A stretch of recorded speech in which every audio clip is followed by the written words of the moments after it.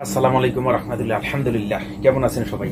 আশা করি সবাই ভালো আছেন। তো আমরা গত ক্লাসে নিউরোপ্যাথি ডিজিজের একটি রোগ আপনাদেরকে বলেছিলাম যে নিউরোপ্যাথি নিউরোপ্যাথি হলো নার্ভের রোগ। তো আজকে আমরা যে বিষয়টি নিয়ে আলোচনা করার চেষ্টা করব, সেটি হলো ওই নিউরোপ্যাথি, অর্থাৎ এখানে নার্ভের একটা সমস্যা, এটাও একটা নার্ভের সমস্যা বা অন্য অন্য কারণেও হতে পারে। এটি হলো হাত পা ঝিমঝিম ও অবশ করা। দেখেন, হাত পা ঝিমঝিম এবং অবশ করা, এটি হলো আরেকটা জিনিস। এটা অনেক কারণে হতে পারে। তো এই যে কারণগুলো, এই কারণগুলো নিয়ে আজকে আমরা আপনাদের সামনে কথা বলার চেষ্টা করব এবং কিছু মেডিসিন নিয়েও কথা বলার চেষ্টা করব। তো দেখেন, আমরা গত ক্লাসে আপনাদেরকে আমরা বিভিন্ন বিষয় সম্পর্কে, অর্থাৎ এই নিউরোপ্যাথিক ডিজিজটা কি এবং কীভাবে হয় এবং কোন কোন মেডিসিন দ্বারা এই রোগগুলোর চিকিৎসা করা যায়। তো দেখেন নিউরোপ্যাথি মেডিসিনের চিকিৎসা কিন্তু প্রায় সবই একই রকম। তো একই রকম বলতে শুধু একটু কম বেশি করে দিলেই হয়ে যায়। তো আমরা এই বিষয়গুলো নিয়েও কথা বলব। তো দেখেন, এখানে হাত পা যে ঝিমঝিম করে, এই হাত পা ঝিমঝিম করাটাকে অনেকেই অনেক ভাবে প্রকাশ করে থাকে। তো এখানে কেউ বলে যে প্যানেস্থেশিয়া এটাও কিন্তু হাত পা ঝিমঝিম বা অবশ করা এবং আপনার হলো যে এই শক্তি বল না পাওয়া যাওয়া, সেন্স না থাকা।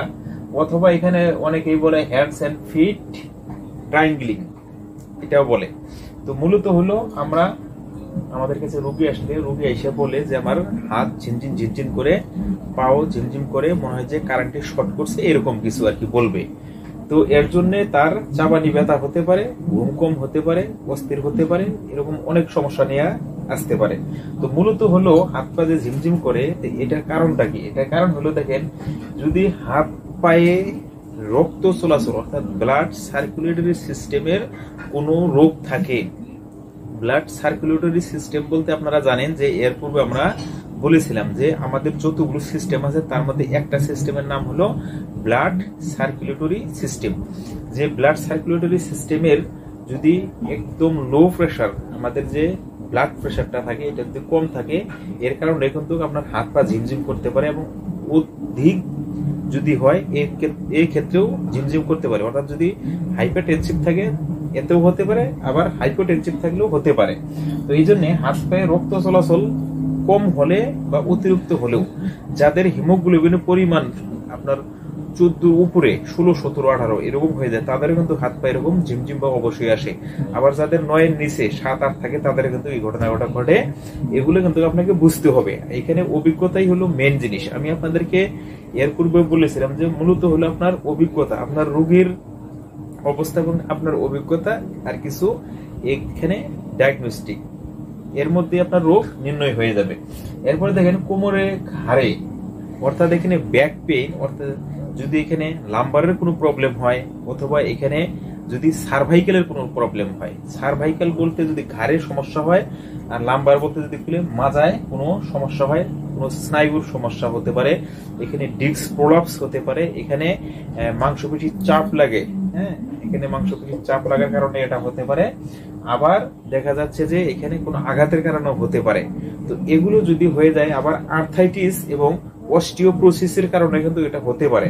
তো আমি যতগুলা কথা বলতেছি, সবগুলো কিন্তু রোগের কারণে। অর্থাৎ একটা রোগ, রোগের জন্য এটা হতে পারে। এর উপরে কিন্তু আপনার এই স্নায়ুর উপর চাপ পড়বে এবং এই চাপের কারণেও এটা ঝিমঝিম করবে। এরপরে দেখেন যে আপনার, আমরা যে বিছানায় ঘুমাই, এই ঘুমানোর বিছানাটা যদি বেশি নরম হয়, বেশি তুলতুলে হয়, এখানে দেখা যাচ্ছে যে শোয়ার কারণে এখানে মাজা বাঁকা হয়ে থাকে, আপনার ঘাড় বাঁকা হয়ে থাকে। এই কারণেও কিন্তু হতে পারে। তো এই বিষয়টাও খেয়াল রাখতে হবে। এরপরে দেখেন, তার যদি মেল নিউট্রিশন অর্থাৎ এখানে ভিটামিন এবং খনিজ পদার্থের অভাব হয় এই কারণে কিন্তু হতে পারে। তারপরে দেখেন, কিছু রোগের কথা বলতেছি। এই রোগগুলো হলো কি? যে কার্পাল টানেল এই কারণে হয়ে যেতে পারে। সার্ভাইকাল বা লাম্বার, একটু আগে বলছি যে সার্ভাল মানে সার্ভাইকাল বলতে এখানে ঘাড় এবং লাম্বার বলতে কোমরের, অর্থাৎ মাজার। এখানে সার্ভাইকাল এবং লাম্বারের কোনো প্রবলেম থাকলে এটা হতে পারে ডিপ ভেনাস থ্রম্বোসিস। ভেনাসের কোনো, ভেনের কোনো থ্রম্বোসিস, আপনারা জানেন, এর পূর্বে আমরা কথা বলেছিলাম। এটা কারণে হতে পারে পেরিফেরাল নিউরোপ্যাথি পেরিফেরাল নিউরোপ্যাথি তারপরে দেখেন এখানে diabetics neuropathy motor neuron disease থাইরয়েডের সমস্যা এবং স্ট্রোকের স্ট্রোক জনিত কারণেও এই সমস্যাগুলো দেখা দিতে পারে। তো যে কারণেই দেখা দেখ না কেন, যত কারণেই এই সমস্যাটা দেখা দেয় তো মূলত হলো আপনার এটা কোনো ঝিমঝিম করা, কোনো এটা কোনো রোগ না, অন্য রোগের থেকে এই ঝিমঝিমটা আসতেছে। এটা আপনাকে বুঝতে হবে যে অন্য রোগ থেকে যেহেতু ঝিমঝিমটা আসতেছে এবং এই অন্য রোগ থেকে আসলো কোন রোগের কারণে? ওই রোগটা সম্পর্কে আমরা একটু ভালো করে যদি খেয়াল করি, নজর দেই, তাহলে বোঝা যাবে যে রোগীটা খুব দ্রুত ভালো হয়ে যাবে।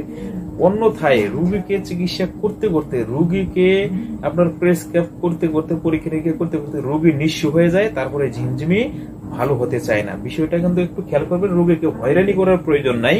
যদি এরকম কারও হয়ে যায়, বয়স বেশি হওয়ার কারণে ওটা হতে পারে যে কোনো বয়সে হতে পারে। তো এটা যদি কোনো রোগীর এরকম হয়ে যায় ঘটনা ঘটনা হয়ে যায়, রোগীকে আশ্বস্ত করতে হবে এবং তার যদি ডায়াবেটিক্সের সমস্যা থাকে হ্যাঁ যদি ডায়াবেটিক্স মিলিটেক্স থাকে, তাহলে এর জন্য ডায়াবেটিক্সের চিকিৎসা দিতে হবে। যদি তার হাইপার টেনশন হয়ে থাকে, তাহলে হাইপার টেনশনের চিকিৎসা দিতে হবে। যদি তার লো প্রেশার অর্থাৎ যদি এখানে হাইপোটেনসিভ হয়ে থাকে, তাহলে এর ব্যবস্থা করতে হবে। যদি তার স্পাইনে কোনো আঘাত বা এখানে ব্রেনে বা আপনার হেঁটে কোনো আঘাত লাগে, তো এই আঘাতের জন্য ওইটারও চিকিৎসা দিতে হবে। তার মানে যেটার সমস্যা হবে, ওইটার চিকিৎসাটা দিবেন। এরপরে যদি এখানে আপনার ডিপ ভেনাস থ্রম্বোসিস বা পেরিফেরাল নিউরোপ্যাথি এগুলো যদি থাকে হ্যাঁ ডায়াবেটিস নিউরোপ্যাথি থাইরয়েডের সমস্যা থাকলে থাইরয়েডের চিকিৎসা দিতে হবে। যদি স্ট্রোক করে থাকে কোনো সময় স্ট্রোকের চিকিৎসা দিতে হবে। তো এই সবগুলো মিলিয়ে আপনাকে চিকিৎসা দিতে হবে এবং এর সাথে কিছু পরীক্ষা নিরীক্ষার প্রয়োজন কিন্তু হতে পারে। পরীক্ষা নিরীক্ষার প্রয়োজন বলতে এখানে তার একটা এক্স রে প্রয়োজন হতে পারে হ্যাঁ? একটা এক্স রে একটা এক্স রে প্রয়োজন হতে পারে। এখানে সিটি স্ক্যানের প্রয়োজন হতে পারে। এখানে এমআরআই এর প্রয়োজন হতে পারে। তো এই যে এগুলো বিভিন্ন ধরনের ভেইনের টেস্টও লাগতে পারে হ্যাঁ? এখানে মাংসপেশির এবং আপনার ভেইনের টেস্টগুলো দরকার হতে পারে। এটা উপর লেভেলে অনেক হায়ারে তো আমরা নর্মালি আমরা কিন্তু একটা এক্স রে করে দেখতে পারি তার সমস্যাটা কি? তার ডায়াবেটিক্স থাকলে ডায়াবেটিক্স টেস্টটা হ্যাঁ? এখানে এখানে আরবিএস টেস্ট আমরা দেখতে পারি। তার ভেনের কোনো সমস্যা আছে কিনা, এটার জন্যও আমরা দেখতে পারি। তার প্রেশার যদি বেশি থাকে তাহলে এটাও দেখতে পারি, কম হলেও দেখতে পারি। তার হার্টের কোনো সমস্যা থাকলে একটা ইসিজি দিতে পারি। তো এইভাবে আপনি কি করবেন? যত যেদিকে আপনার সন্দেহ হবে, ওই হিসেবে তাকে চিকিৎসাটা মানে টেস্টগুলো দেওয়ার চেষ্টা করবেন এবং ওই অনুপাতে তাকে চিকিৎসা দিবেন। যেমন আমরা গত ক্লাসে বলেছিলাম ভিটামিন এখানে এখানে বি ওয়ান সিক্স টুয়েলভ অর্থাৎ বি ওয়ান টু সিক্স যেটাকে আমরা বলি হ্যাঁ? তো এই যে বি সিক্স বারো, এইটা ওষুধটা এখানে দিবেন। এর সাথে আপনারা এখানে প্রি গা প্রিগাবা হ্যাঁ? প্রিগাবা এখানে পঁচিশ, পঞ্চাশ, পঁচাত্তর যেটা দরকার হয় দিয়ে দিবেন। এর সাথে দিবেন হলো এখানে টল ফেরিসন জাতীয় ওষুধ হ্যাঁ? এখানে টল ফেরিসন। এর সাথে আপনারা এখানে দিতে পারেন হলো যে তার সেন্ট্রাল নার্ভাস সিস্টেমের যদি একটু ঘুম কম হয় বা অস্থির লাগে, এর জন্য আপনার একটা সিএনএস ড্রাগ দিয়ে দিবেন হ্যাঁ? তো এই যে এইভাবে সিস্টেমিক কিছু ওষুধ দেওয়ার চেষ্টা করবেন আর কি। আর বিষয়টা হলো এখানে একটা পিপিএ ওষুধ দিয়ে রাখবেন। যদি তার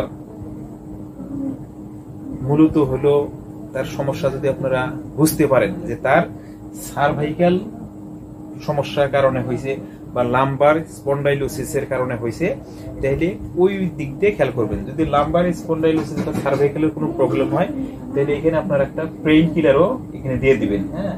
এখানে পেইন কিলার তো এই যে পেইন কিলার দিলেন এর সাথে পিপিআই দিবেন সিএনএস দিবেন টলফিলিসন এখানে আপনারা বা বি ওয়ান টু সিক্স এগুলো দিয়ে দিবেন।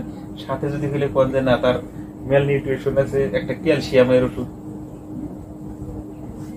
ক্যালসিয়ামগুলো দিতে পারেন, এখানে ক্যাল এলজি ক্যাল বা এখানে এক্সোর্স যে কোনো একটা দিয়ে দিতে পারেন। তো এইভাবে অবস্থায়, অবস্থার উপর নির্ভর করে আপনারা চিকিৎসাটা দিবেন। মূলত হলো চিকিৎসা না আপনার কারণের মধ্যেই আপনার রোগ নির্ণয়। কারণের মধ্যে রোগ নির্ণয় করে এইভাবে চিকিৎসা দিবেন। যদি আপনারা এখানে চিকিৎসা, অর্থাৎ এখানে প্রেসক্রিপশন যদি খেলে আপনারা দেন দেখে দেখেন এখানে ট্যাবলেট হ্যাঁ যেমন আমরা দিয়ে থাকি হ্যাঁ এখানে হলো নিউকস বি দিলেন। এর সাথে আপনারা একটা কি দিবেন? হ্যাঁ প্রি গাবা হ্যাঁ বা গাবারল গাবারল পঁচিশ।